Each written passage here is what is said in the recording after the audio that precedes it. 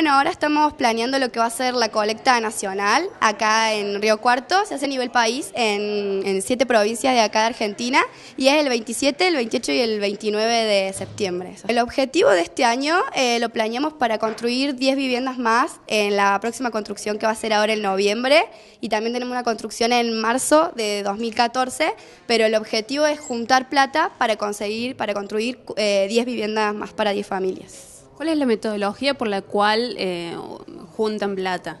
Bueno, en realidad básicamente es salir a la calle disfrazados con la remera identificatoria de techo, la pechera, las alcancías en forma de, casita y estamos dividiendo Río Cuarto por zonas con un encargado de cada zona y a su vez por puntos. Esos puntos tienen voluntarios que van a estar en la calle eh, contando un poco lo que es techo y eh, ofreciéndole a la gente que, done para la construcción de las viviendas.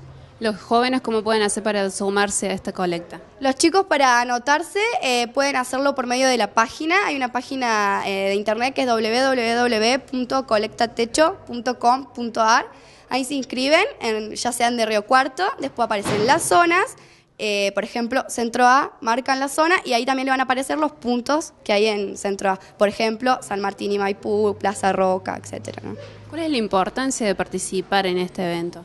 Bueno, la verdad eh, yo creo que es eh, un compromiso más que nada con, la sociedad y para poder seguir trabajando con, los vecinos que Techo trabaja todo el año, no solamente en lo que es construcción de, viviendas de emergencia, sino todo lo que es el, trabajo de desarrollo comunitario que hacemos en los barrios.